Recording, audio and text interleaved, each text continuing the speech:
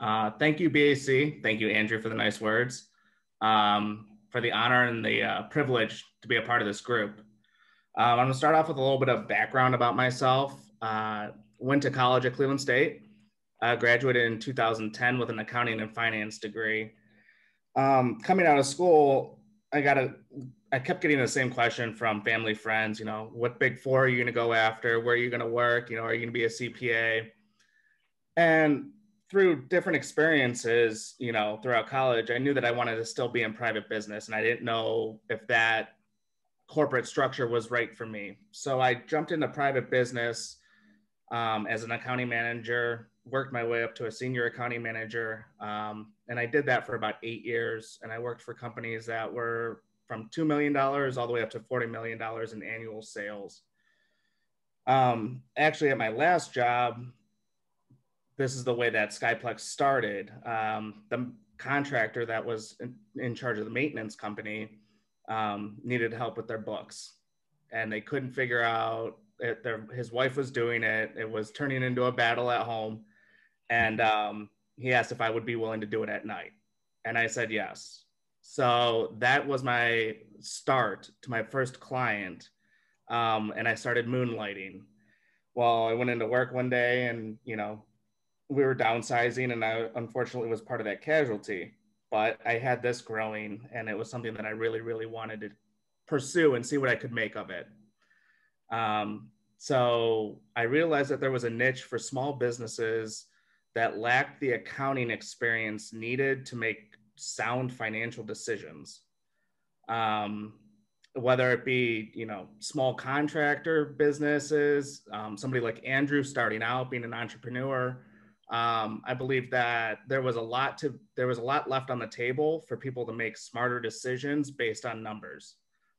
So I started to reach out to different people and kind of feel them out and see what they thought. And um, there was definitely an avenue to pursue. CPAs kind of shy away from this kind of work. They don't like to be in the nitty gritty year round with people. Um, sometimes whether it be a secretary or somebody else that you know gets the duty of QuickBooks or paying the bills or whatever the case may be, um, without the skills and the understanding of what they're actually doing, and sometimes that can really hurt businesses. Um, so my first client, after I cleaned up their books, um, their tax bill got cut in half from the previous year.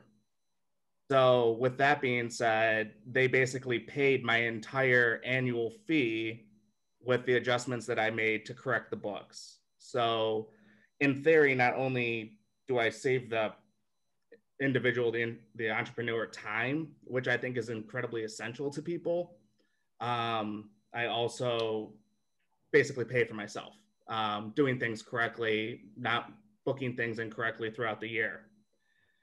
So for about eight months, I had one client. Um, and this is where BAC kind of comes into the fold, where I was struggling so so much that I was debating giving it up, kind of doing it as a side job, and going back and getting a real job. And um, I had paid for a marketing company to create a website, do ad campaigns online, all these different things, and nothing worked not not for me. I was trying to do things in the fall, thinking that people were planning for tax planning for the next upcoming tax season, and nothing worked. Um, so I started reading a bunch of articles on startups and entrepreneurship and different things like that. And a lot of it came down to mentorship. It takes a village, you know, an army is better than one kind of scenarios where I thought that it was time for somebody else to come in and help me you know what i what i think may not be right. So that's when i think i believe it was the fall of 2018 um, i signed up for the mentorship um, with uh, john and bac and that's when i met him. Um, it was it was very interesting. It was very it was a unique situation. I didn't need help with probably certain things that other companies might need help. I don't need help with budgeting and forecasting. I don't need help with a profit and loss statement um, or business planning. My biggest hurdle was client acquisition. And struggling for so long, I was kind of defeated throughout the whole process. Um, like John said, we started having our regular meetings at Panera and we started developing all kinds of different things uh, from redoing my business cards to creating marketing material to creating a brand and an image and a message that was relatable to the people that I was going after. Um, being more than just an accountant, being more than just a bookkeeper, being an advisor, you know, as a whole throughout the entire year. And I think that that really resonated with some people um, that helped me grow. Uh, so, Andrew, you were my second client um, in January of 2019. And since then, I'm up to 17 clients now. And we've been fortunate enough to double sales year over year at the minimum um, and hope to be a six figure company this year. But, you know, throughout that entire process, um, John and BAC, I don't know if I would have, I don't know if I'd be here right now without you guys.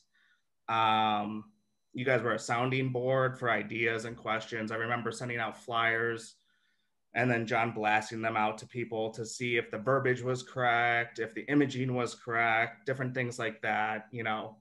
And in a lot of ways, he's somebody that holds me accountable. Um, I'm a one man band and, you know, working at home all the time.